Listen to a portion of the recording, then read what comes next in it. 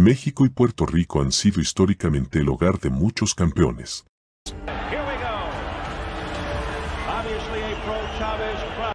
Estos campeones han estado en la garganta del uno al otro durante décadas, ningún guerrero mexicano logró pasar por las filas profesionales sin encontrarse con un boricua rudo en algún momento. Comenzó con Carlos Zárate y Wilfredo Gómez. Luego continuó bajo Héctor Camacho y Julio César Chávez.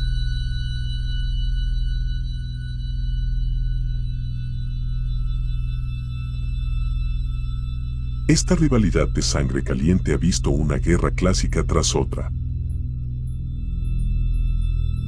Pero nunca ha sido tan caluroso como el polémico par de guerras entre el campeón puertorriqueño Miguel Cotto y el tornado de Tijuana Antonio Margarito.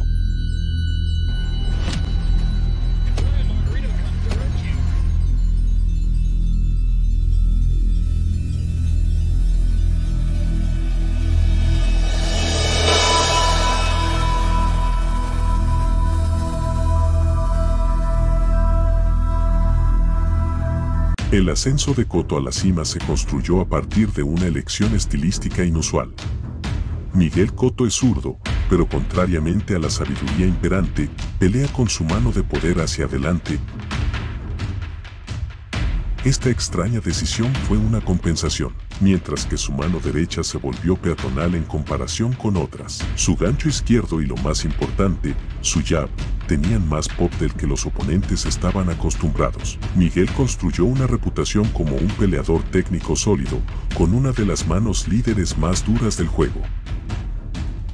Su ataque ofensivo era organizado, mientras se abría paso a través de las filas. Su disparo en el hígado resultó ser su golpe más fuerte de todos. Cotto se abrió camino hasta los 140 luciendo duro y técnico, incluso después de dar el salto al peso welter. Antonio Margarito era enorme para el peso welter. Medía casi 6 pies de altura y luchaba con un estilo áspero y agresivo que se basaba en una presión implacable, respaldada por estándares interminables.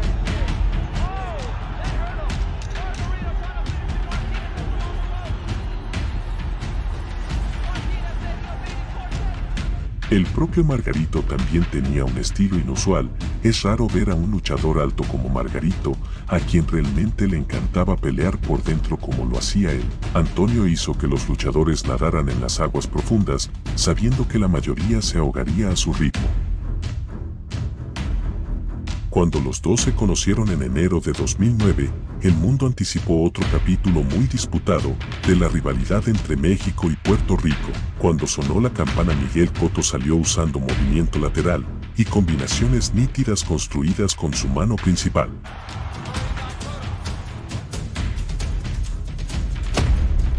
Rondas pasaron con Miguel iluminando el enjambre mexicano larguirucho. Hasta que el cardio de Miguel finalmente comenzó a desgastarse. Margarito mantuvo su ritmo agotador y pronto Miguel está luchando por mantenerse al día.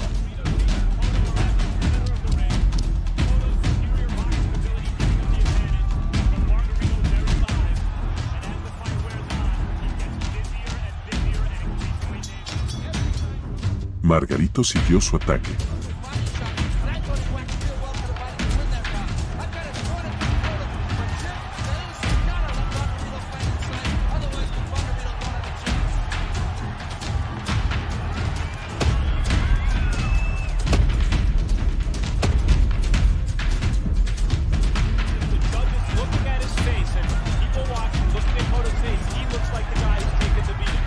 Fue en el decimoprimero asalto, con la cara como una fresa podrida, que Miguel Cotto fue finalmente convencido de arrodillarse y quedarse allí.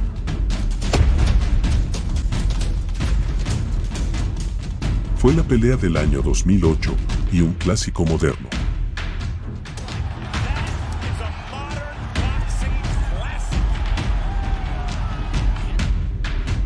En la celebración posterior a la pelea, se tomó una foto inocua de Antonio Margarito celebrando con los guantes quitados.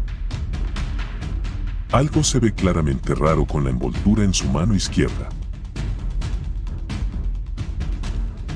Antes de la próxima pelea de Margarito con Sugar Sane Mosley, el entrenador de Mosley notó algo sospechoso en sus envolturas de manos y exigió que se volvieran a envolver.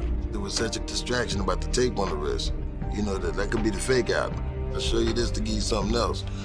So I checked the pad, and when I checked the pad, it felt hard. So the commissioner felt it, he said, that feels pretty hard. The commissioner flipped it open, and a block fell out of it. Antonio luchó contra Mosley con las manos limpias. Los golpes que obligaron a Cotto a ceder terreno parecieron rodar fuera de Mosley. Sane le dio una paliza, lo destruyó con un nocaut en el noveno asalto.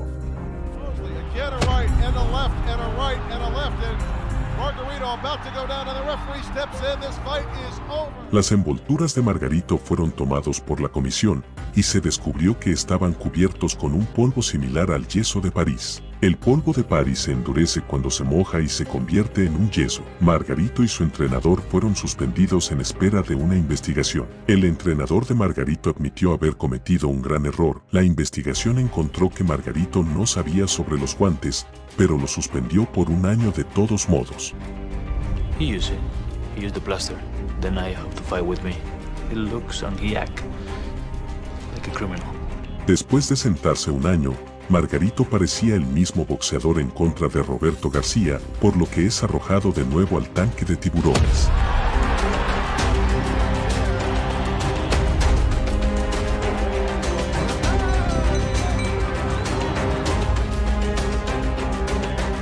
Margarito fue por un cinturón vacante y un demonio filipino hambriento. Pacquiao puso una de las palizas más legendarias de la era moderna a Margarito,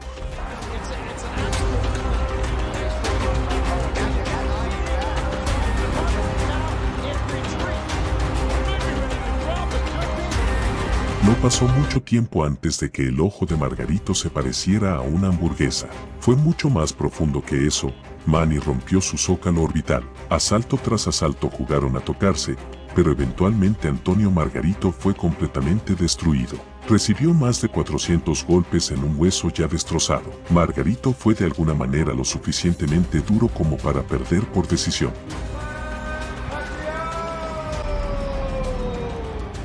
se programó una revancha con un Miguel Cotto fríamente furioso. En el periodo previo a la pelea, se les pidió a los dos que se sentaran y discutieran el tema. Lo que comenzó como una rivalidad nacional amistosa, ahora era amargamente personal para ambos hombres. Durante la sesión, se apegan el uno al otro. A mí no me importa lo que tú pienses, o sea, estuve, estuve limpio, o sea, no me importa. Va a ser lo mismo, que sea, lo que sea. Necesitas fuerza para vencer y los, la tengo. Entonces, Y he cargado. y así tú me vendes, quien me vende, te vuelvo a ganar. ¿Tú crees? Y, y así, así yo creo. Así, así como lo yo creo. Una combinación de la controversia y el increíble esfuerzo en su primera pelea azotan al mundo del boxeo en un frenesí. Cuando suena la campana, el Madison Square Garden explota. Doblemente así, ya que Miguel pasa la mayor parte de la primera ronda separando a Margarito.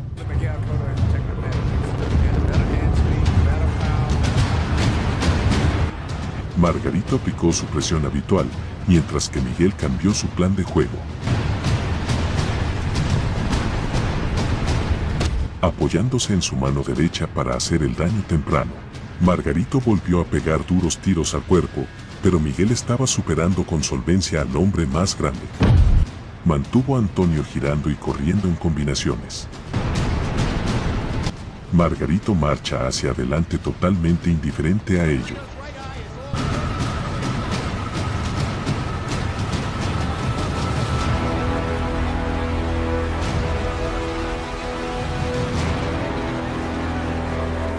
Incluso cuando el ojo de Margarito se deterioró, el mismo ojo que Manny aplastó anteriormente, siguió adelante.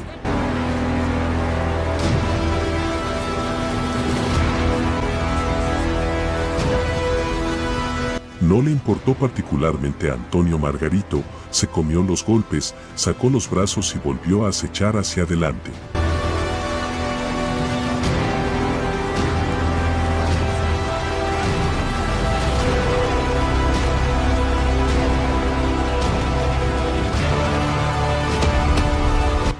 Rondas, el médico fue llamado para mirar el ojo obviamente roto de Margarito y cancela la pelea al final de la novena ronda.